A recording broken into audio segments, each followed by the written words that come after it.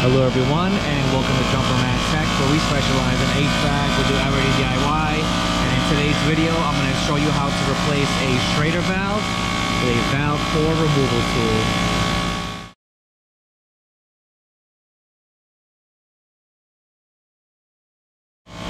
Thank you to everyone tuning in to Jumperman Tech. Today we're working on this refrigeration rack system.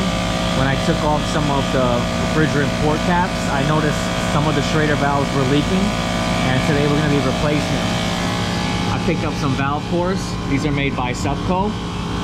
There they are. I also got some new caps for them. And I also purchased a new quarter inch valve core removal tool. Even though I already have one, it's good to have another one.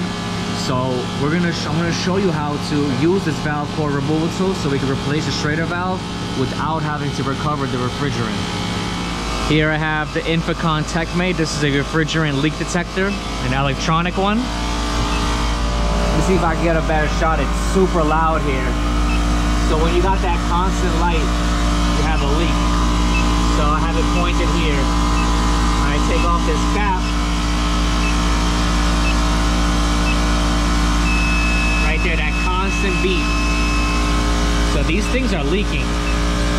So today's goal is to replace all of these Schrader valves, all new caps. They have a lot of ports here. Over there, here, here. We got a lot of caps here that we gotta change. Here we have our valve core removal tool made by Appion. This one is really nice. This is part number MGAVCT. I really like this one because you got the little magnet on there. Honestly, very helpful. I actually have another one in my bag. This is made by Ritchie Yellow Jacket. This one is actually really good too. I think these two are my favorite. Drop a comment below if you have any preference and which one you think is the best. So here's the valve core removal tool. All right. This part will attach to the system and this tool here is your valve core remover. You spin this off. Right there you have the teeth on there where you can use the valve core. So let's just set this up properly. You also have a valve here where you can stop the flow of refrigerant. You try to open and close it, it won't when this is pushed in. This has to be pulled out for you to stop the flow of refrigerant. It's actually really good too. It's not just for doing this job here, it's for a bunch of other things like removing the cores and stuff like that when you're recovering and pulling vacuums, which makes it a lot faster. Here's a port where you can attach your vacuum gauge while you have it attached to the system, all that good stuff. And when you take this off, let's say you have this to the system, you got your vacuum gauge on here and your refrigerant hose on there. So there's a bunch of setups here. Let's go ahead and get this part started. Let's go. Closer. So here we have the problem area. Take off the cap, get rid of it. Tool is in this normal position. What you're gonna do is spin this on to our port, a quarter inch access port, and it doesn't have to be too tight. Okay, got it on there, cool. This piece right here goes in and out. This is what we're gonna use to pull the core in and out. So now that it's open with the valve open, this can go all the way down. So we're gonna push down, try to catch the, uh, the Schrader valve. So what we're gonna, I believe I got it. So I'm gonna press down, apply pressure on it, and spin. Apply pressure on it and spin to when I think the Schrader core is out.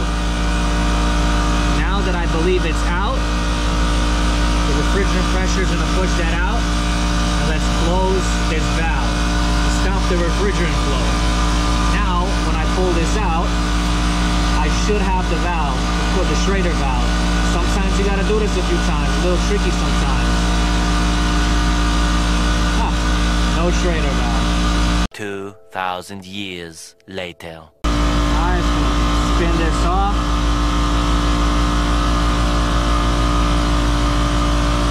And here we have the valve core. Alright. Now, come here. Now, we're going to take our new valve core and place it on the tool. Make sure you got a grip on there. Now, we're gonna go in here, tighten this.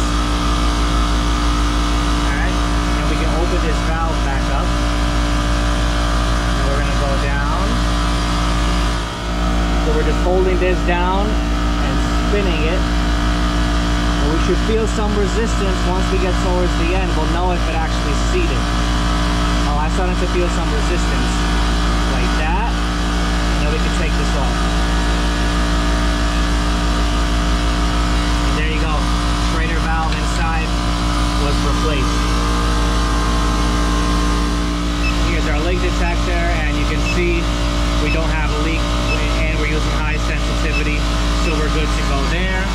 Now I'm gonna get rid of this junky old ugly cap with a nice new one and a new gasket. Put that on there, tighten it down.